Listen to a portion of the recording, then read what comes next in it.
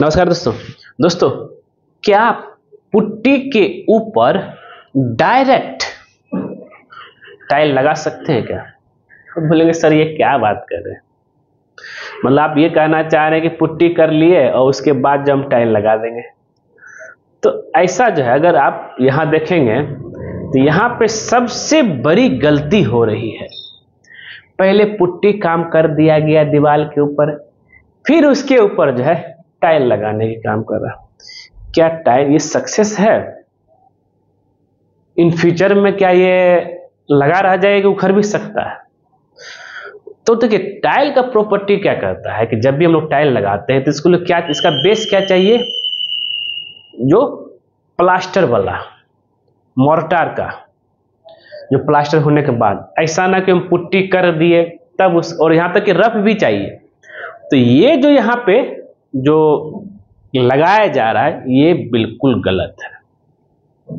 तो इससे सवाल ये उठता है कि क्या ये गलत है? दूसरा है, क्या पुट्टी पे टाइल फिक्स हो सकता है? आज हम चार सवाल का जवाब देंगे।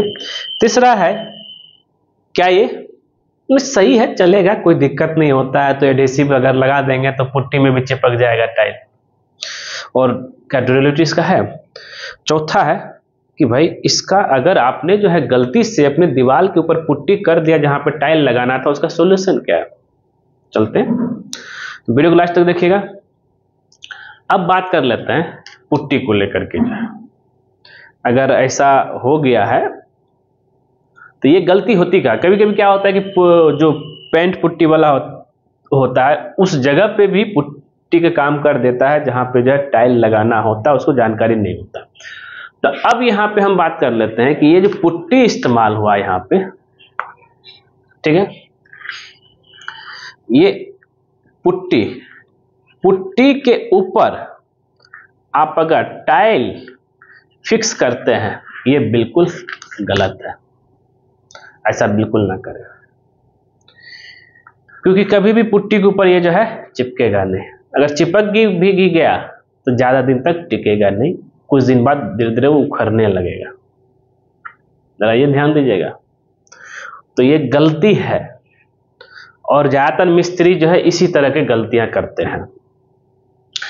अब है तो अब क्वेश्चन आता है फिक्सिंग को क्या? पुट्टी पे टाइल फिक्स को लेकर के जो है पॉसिबिलिटी कितना परसेंट तो अब ये मैं तो बता दिया आपको, चाहे आप सीमेंट और पानी का पेस्ट बनाइए चाहे एडहेसिव इस्तेमाल कीजिए।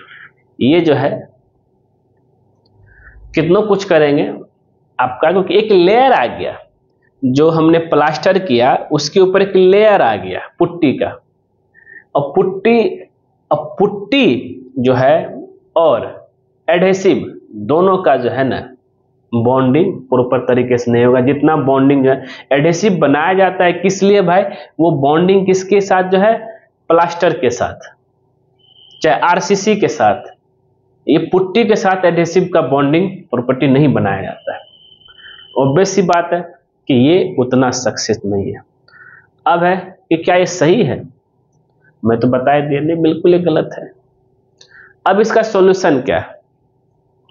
देखिए, इसका सॉल्यूशन बस यही है कि अगर आपने पुट्टी कर दिए हैं, तब आपको आपको कुछ इस तरीके से जो है चिपिंग करना पड़ेगा। तो मैं थोड़ा थोड़ा दिखाया हूँ। आपको जो पुट्टी को हटाना पड़ेगा, पुट्टी को, पूरा पुट्टी तो हट नहीं सकता अगर हटा देंगे तो बहुत अच्छा है। लेकिन अगर नहीं हटा सकते हैं तो इसको जो छेनी मारतुल से इसको थोड़ा चिपिंग कर दीजिए। रफ सरफेस बना दीजिए, जिससे कि प्लास्टर दिखने लगे।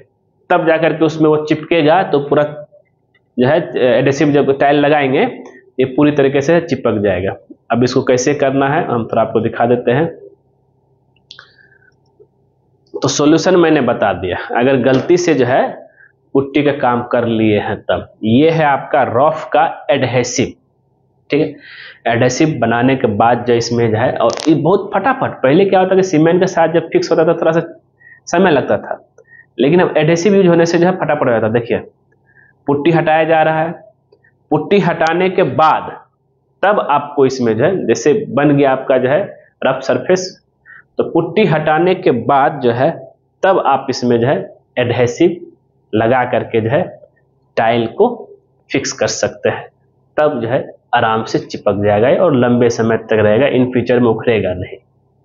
क्योंकि क्या है कि अगर थोड़ा सा भी मॉइस्चर आया और पुट्टी गीला हो गया तो बॉन्डिंग छोड़ देगा। वही अगर मोटर गीला हो गया और टाइल फिक्स है तो मोटर के साथ जो है अगर टाइल फिक्स किए हैं तो वो कभी नहीं छोड़ेगा। ठीक है वो फाइनल मतलब फिक्स हो जाता है, चिपक जाता है। लेकिन यहाँ पे जो है गीला होने के बाद छोड़ देगा और आपका जो है टाइल गिर जाएगा। तो दोस्तों, उम्मीद करते हैं ये वीडियो आपको ज़रूर पसंद आया होगा। पसंद आए, ज़रूर इसको जो लाइक कीजिए शेयर कीजिए कमेंट कीजिए। मिलते हैं हम नेक्स्ट वीडियो में। आज के लिए बस इतना ही। वीडियो पर देखने के लिए धन्यवाद। नमस्कार।